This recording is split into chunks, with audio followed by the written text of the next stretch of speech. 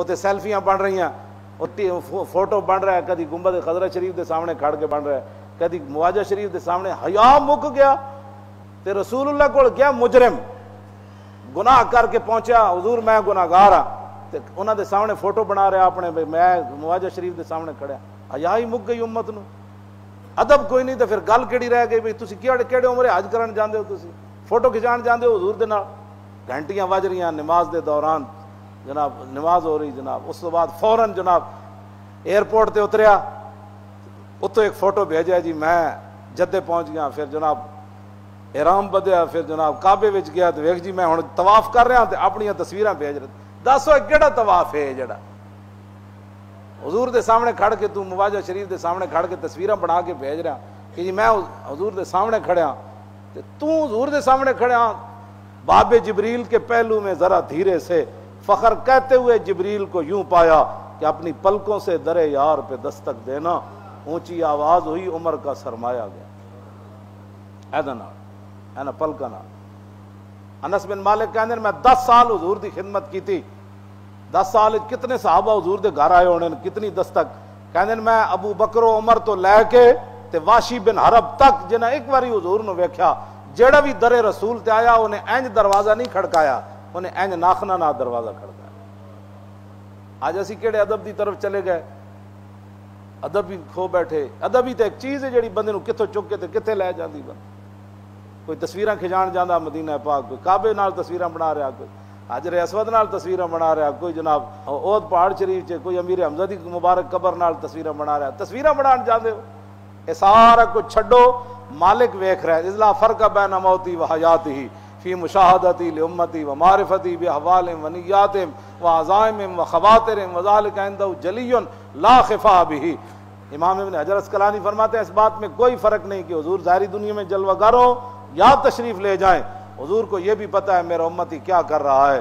میرا امتی کدھر جا رہا ہے؟ میرے امتی کے دل پر کیا گزر رہی ہے؟ حضور کو یہ بھی پتا ہے۔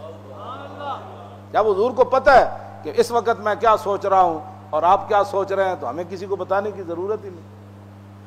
حضور کو تو پتہ ہے۔ اور کس نیت سے آپ آئے بیٹھے ہیں؟ اور میں یہاں کس نیت سے آئے بیٹھا ہوں؟ حضور کو یہ بھی پتہ ہے۔ جب حضور یہ ساری باتیں جانتے ہیں، تو تصویر کسی کی وہاں بنے یا نہ بنے، حضور کے سامنے تو وہ بندہ چپ پہنچ گیا۔ اپنے عمرے بھی صحیح کرو، اپنے حج بھی صحیح کرو، اپنی نیتیں بھی صحیح کرو، اپنے کرتوت بھی صحیح کرو۔ حضور نے فرمایا نا، ایک وقت آ جائے گا۔ تو میری امت اے بھی ہو جانا ہے، اے بھی ہو جانا ہے، اے بھی ہو جانا ہے، اے بھی ہو جانا ہے۔ آپ نے فرمایا فقال ذا کا آئندہ اوان ذہاب العلم۔ حضور نے فرمایا، یہ وہ وقت ہوگا جب علم چلا جائے گا۔ حضرت زیاد بن لبید صحابی ہیں، وہ کہنے لگے کہ میں عرض کی تھی، حضور کیف یذهب العلم؟ نحن نقرأ القرآن ونقرئ ابنانا ويقرئ ابناؤنا ابناؤهم الى يوم القيامه حضور آپ فرما رہے ہیں، علم چلا جائے گا۔ پھر میری امت پر یہ مصیبتیں آ جائیں گی۔ کیسے علم چلا جائے گا؟ ہم نے آپ سے قرآن پڑھا، ہم اپنے بچوں کو پڑھائیں گے، ہمارے بچے اپنے بچوں کو، پھر قیامت تک ہمارے بچے قرآن پڑھاتے رہیں گے۔ تو علم کیسے چلا جائے گا؟ آج قرآن کو لوگ علم سمجھتے ہی نہیں۔ حالانکہ حضور کے سامنے تو علم نام ہی قرآن کا رکھا۔ حضور نے علم چلا جائے گا۔ صحابی نے آگے یہ نہیں کہا، بیالوجی چلی جائے گی، ٹیکنالوجی چلی جائے گی۔ علم چلا، اور کہا کیسے علم چلا جائے گا؟ نحن نقرأ القرآن وہ نکرو اب نانا وہ یکرو اب ناؤ نا ملا کیسے علم چلا جائے گا حضور؟ ہم آپ سے قرآن پڑھتے ہیں، ہم اپنے بچوں کو پڑھا، قرآن پڑھائیں گے۔ اے علم، صحابی، حضور نے بھی یہی علم مراد لیا، اور صحابی نے بھی یہی علم سمجھا۔ آج ہم اپنے بچوں کو قرآن سے بچا بچا کر جوان کرتے ہیں۔